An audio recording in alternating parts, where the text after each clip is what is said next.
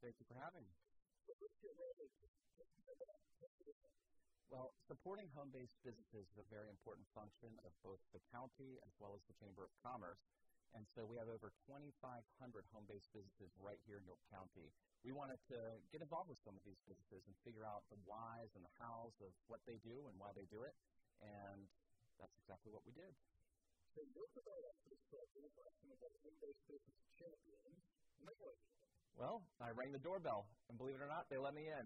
Hi, I'm Chris Davidson, and this is Coffee at Home. So let's see if she's got my coffee ready. Hey, Melissa, good come to on see you. in. Good Thanks to for having you me. Too. Sure, come on in.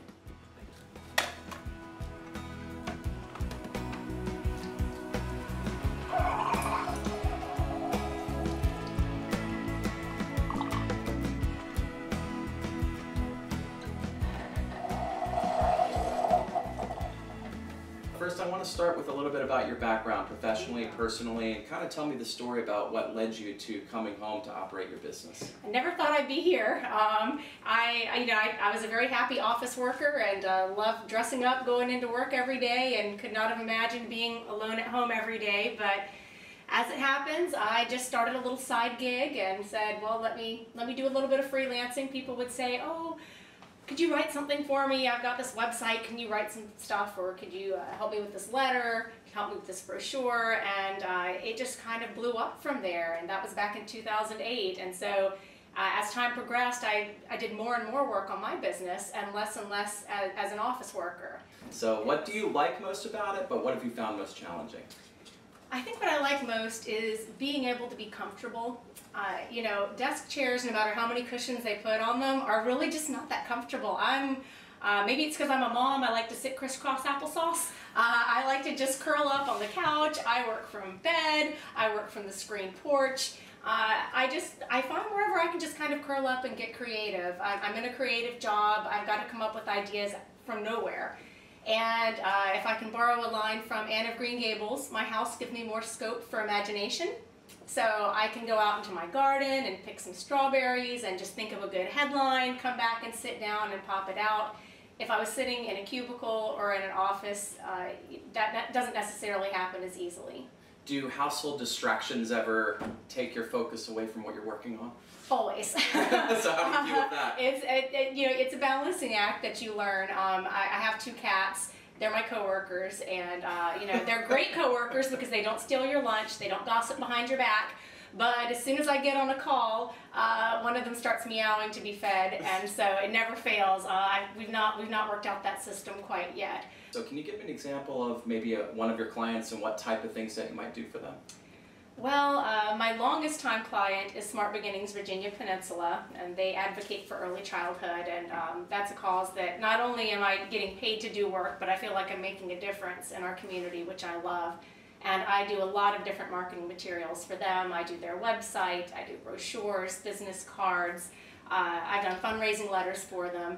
And really, that uh, a lot of what I do for them runs the gamut of what I offer for any of my clients. I, I have a big variety in, in what I do in my business. Well, I just want to congratulate you on all your success. I mean, you've got some major clients and you've done uh, really great things for them. You have an awesome business, uh, able to balance work and life together, literally in the same place. Yeah. So um, I I know it can't be easy, but I know it can be done. So, what advice would you give to someone who may be thinking about starting a business and working from their home? Great question. Well, I wish that I had come to the uh, Economic Development Office first when I had started out rather than finding things out through trial and error. Uh, now that I'm really more involved with the county and attending these events, I'm, my eyes are open to all these different opportunities that are there. So I would tell somebody, call them up first. Find out ways that they can help you, people they can connect you with. You might not have, you know, maybe a good accountant to make sure you know how to file all the different paperwork.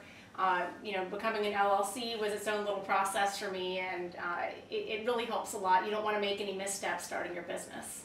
Well, Melissa, thank you so much for having me here today. Appreciate having coffee at your home, and uh, I wish you much success. You've done a great job so far, and I hope that you've inspired other people today. This has been Coffee at Home, and we'll see you next time.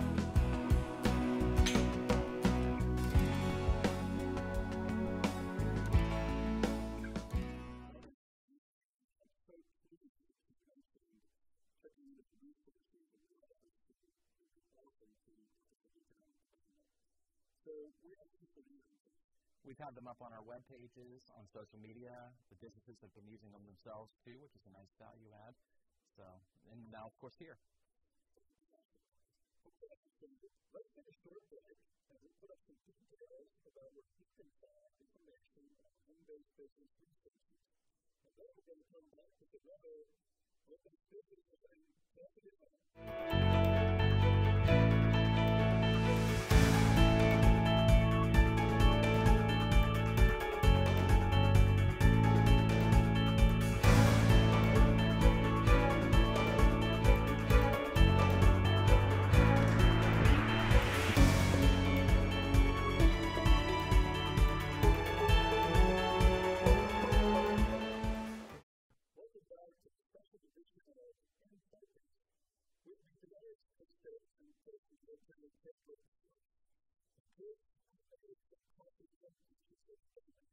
Three so far, and it's really interesting to be able to see these entrepreneurs in their office environments.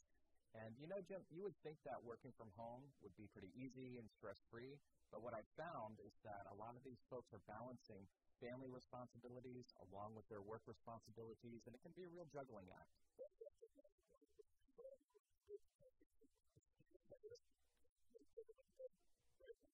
Take me through a typical day with Andy and Mosquito Fighters.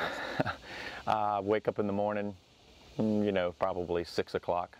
Um, come downstairs, try to work on the scheduling.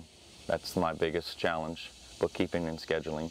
Um, have to line up the schedules for each individual driver for that truck that's going out in whatever direction that he's going. I have to provide that schedule for them. Um, I have to also make sure that the, the vans that are here in, in, in my, at my house that are fully stocked and loaded and ready to go for, for today's work. Um, I also have two, two children at home. Once they're out of the house, everybody's good. Uh, there is peace and quiet for me to focus on answering the phones. People will start calling around 7:45, 8 o'clock, going, "Hey, you're coming today? You know, I know it rained for two weeks. Are we on the list? Please make us on the list because it's bad. You know, July we had record-breaking rainfall, so the mosquitoes are bad everywhere. So it, it's challenging for us to provide service for each person right away as soon as that rain stops. Right. So, um, and then once you know if there is the, the, the phone's not ringing and I'm able to do my work, it's back to scheduling for the next day. Um, what are we going to do? You know, how am I going to fit all of these people in to make everybody happy? That's my goal. Obviously, want to make them happy. If they're not happy, then mosquito fighter's not doing a good job, and then the name doesn't spread, and you know, I don't get the good publicity. So as you can see, his days are definitely full, and we got to see it firsthand, and he did a great job. So, Jim, I also wanted to mention that as a part of our partnership with the county, the Chamber offers membership and benefits for home-based businesses specifically. So we have a tier of membership just for home-based businesses, very inexpensive. We have a lot of other tools and benefits that help them build their business, including the use of conference space and uh, conference rooms at the Chamber, and a whole lot of other different types of things, such as opportunities for networking and the ability to come into opportunities uh, with other members and uh, other businesses in the community.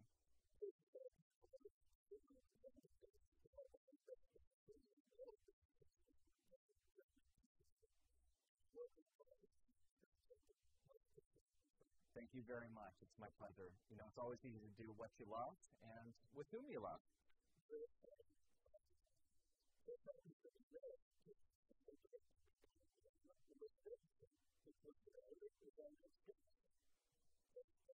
Thank you very much.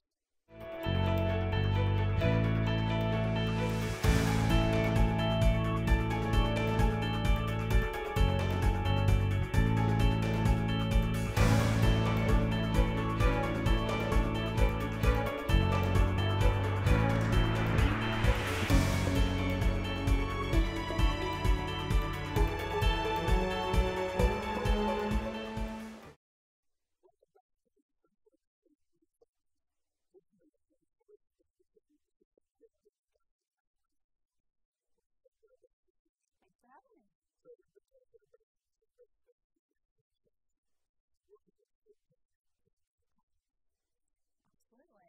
And uh, we're excited about this new Coffee at Home show. We really are. This is um, it's an opportunity for us to help our home-based businesses um, with marketing efforts. And um, as you know, with our business retention surveys every year, that's the number one thing we hear. Businesses need marketing assistance. Um, so anything we can do to help with that, um, you know, to support these home-based businesses, I think is a positive thing. So something else we're really excited about this year is that we have all six Peninsula localities on board to sponsor the event, and also Gloucester. We have. Uh, we've been hard at work doing that. Um, our annual Home-Based Business Conference will be held at the Peninsula Workforce Development Center in Hampton, and this larger venue will really help us to accommodate more attendees. Uh, in addition to all of the regular resources and marketing tools and the amazing speakers that we're going to have there, um, you know, we've got some exciting new developments. So at the conference,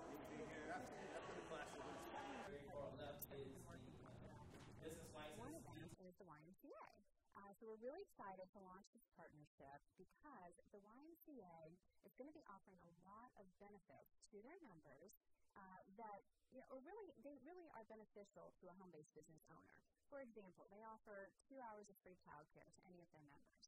And they have found through their strategic planning process that a lot of their members are using that two hours for several things. So, uh, checking email, uh, meeting with a client, having coffee with a client, um, you, you know, maybe taking advantage of some of their.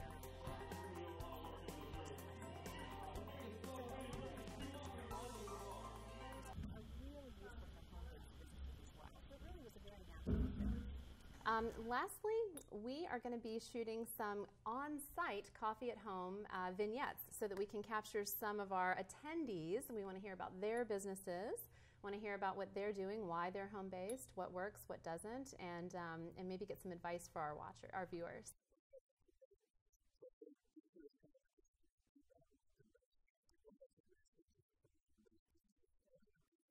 Absolutely. Um, welcome to come. Uh, it's open to any business in the region, and uh, we're going to have some great speakers this year. Uh, the registration is up online. You can go to hbbconference.com, and tickets are already available, so we're really excited about that.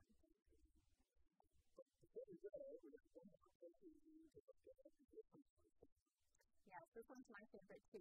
Jeannie Fioca of Cookie Text did a great job, and once the planning committee saw the video, it was a lock. They said we have got to get her to provide the speaker gifts at our conference. Hi, welcome to Coffee at Home, the show where we feature York County entrepreneurs who work from their home. My name is Chris Davidson, and today we're chatting with Jeannie Fioca of Cookie Text.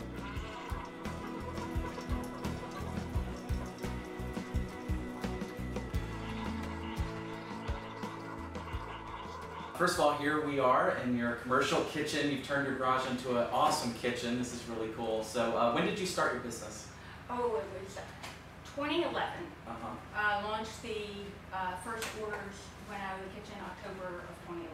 So it seems to me that you've taken two things that people love, which is texting and cookies, and you've put them together. So, uh, in a couple of sentences, what is Cookie Text? We take your special message, we pair it with our homemade cookie cake, and we hand deliver it for any occasion. Customers can order online as late as 9 o'clock the night before, and we hand deliver a personalized, delicious cookie cake as soon as the next day. So, um, how did you come up with the idea of Cookie Text? Oh wow. Um, I had started decorating cakes for friends and had done my children's and then graduated to friends, was doing it and it just kept getting fancier and fancier. And I realized I like the baking stuff. It brings me joy, but I don't like the need a cake and it could be something crazy. So I realized when somebody says, I need a cake, but I want one of your cookie cakes, that I was like, and I thought, cookie cakes are a lot more scalable. And I thought, well, what if I did cookie cakes with like a message on them, like a cookie gram, and just delivered nearby? Well, it would have to be text, cookie text. And honestly, the rest of the story is one day I was taking a nap and I shot up and said, an edible tweet.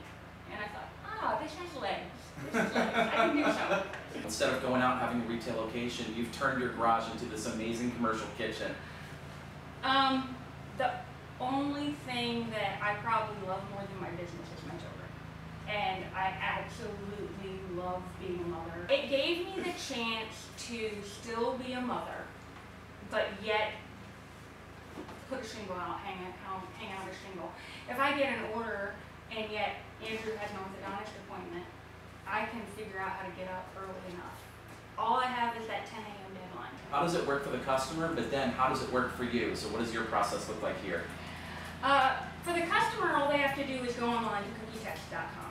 Okay. There they can pick a cookie cake with text only, a cookie cake with text with an image on it. They can choose from six flavors, four sizes. They pick out the two, the from, the sprinkles, the uh, message they want on it, and then they just check out.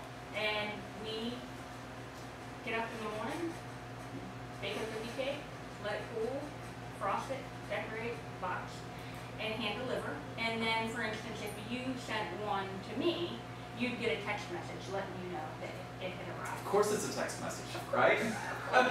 so you get notifications here, right? So you'll probably get a notification immediately on your phone and then you go to work, right? Well, well, I get I get emails, and Okay. we do cut off orders at nine o'clock the night before. Okay. So after nine o'clock, I can look and see what's facing me the next day. And then, you know, depending on how many orders, that kind of dictates how early I get up. Who are your customers? Well, I like to believe that everybody likes a cookie text, so everybody could be a great cookie text customer. But we, anything from a happy birthday to thanks for taking my mail to sorry you lost your pet, we have got quite a nice footing with business to business mm. gift giving. So anything from being a realtor to a builder to somebody that just is so happy that you referred them to somebody else. So for instance, today we had a realtor saying happy home anniversary to somebody, which is a great idea to keep That's a themselves great top. idea for yeah, realtors, to yeah. stay top of mind. We had a happy anniversary going to an employee over at CNU. So I've seen you at the Home-Based Business Resource Fair before. I know York County does support home-based businesses uh, quite a lot. So uh, how have you found that to be here in the county? Oh, unbelievable, actually. I mean, you don't get that everywhere. Sometimes there's some scrutiny when you say, I work out of my home. Are like, uh uh But not in York County. In York County, every other day I'm getting an email about either, you know, the home-based business lunch and learn or some other networking event or resource fair or educational program that the county does. So the county's been super supportive.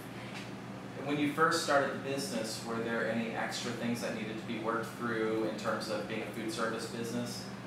Yes, not with the county. The county is pretty easy and cut and dry just because the business is more or less a business. The health stuff with regard to being a food-based business was a bit more difficult to navigate. And I think that is really kind of a deal breaker for a lot of people when they can't figure out which way to go. When we come out and interview entrepreneurs, I always like to ask them what piece of advice would they give someone who's thinking about operating a business from their home or even a commercial kitchen like this?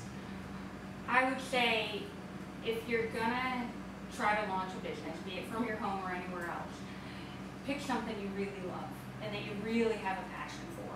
Because there are times in here where it's Valentine's Day and I haven't slept and I'm super busy.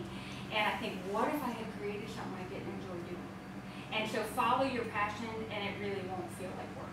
Well, I think it's really important to enjoy what you're doing, and I can feel your passion. As a matter of fact, I also have a passion for cookies. So, how do you think the interview went? Do I deserve a cookie? Yes, you do. All right. And I actually saved one and I thought, you know, since you're here, maybe you could help decorate. Really? Yes! Let's do it. All right, sounds like a plan. The only thing better than coffee at home is coffee and cookies at home. Jeannie Fioka, thank you so much for having us in your home today, and thank you for watching. We'll see you next time.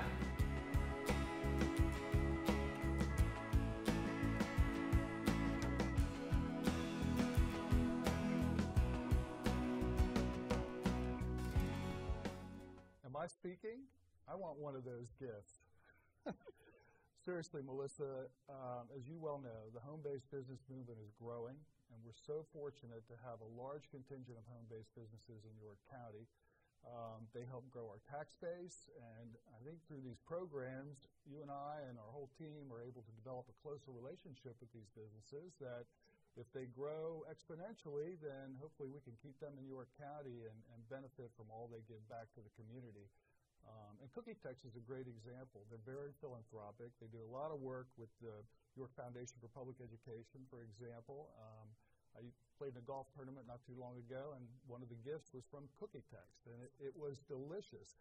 And I think other home-based businesses might want to think about things like that, philanthropic things like that, as another marketing, you know, means of getting the word out about their product. Um, anyway, these are very important businesses to York County, and I want to thank you for all of your hard work uh, to develop this program. It's been very successful, and I think it's going to be even more successful in the future. And all of our businesses, home-based and other, learn about resources available to Johnson Economic Development and the Economic Development Authority. Please go on our website, yesyorkcounty.com. We've got some great information about our programs and other resources available to you. Thank you very much for watching this special edition of Focus.